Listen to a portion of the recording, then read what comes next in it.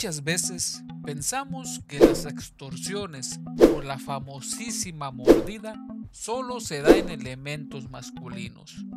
Pero como verán en el video de hoy, las, mujeres, perdón, no se quedan atrás. Eso sí, un poco menos frecuente, pero sucede. El video como tal no cuenta con información sobre su ubicación, lugar o fecha donde sucedió, pero deduciéndolo por la altura de la ventana desde donde se estaba grabando el hecho, bien podría ser el camarote de un tráiler. Entiéndase como que la persona a la que están cubriendo el rostro, don Ramón, es un posible trailero. Esta persona está rodeada literalmente por tres elementos femeninos de policía de tránsito. En el video podremos apreciar cómo en al menos dos ocasiones el trailero, el sujeto, le entrega dinero a las oficiales.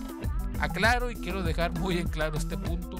Yo no oculté el rostro del trailero. El video que ven es tal cual fue compartido en redes sociales.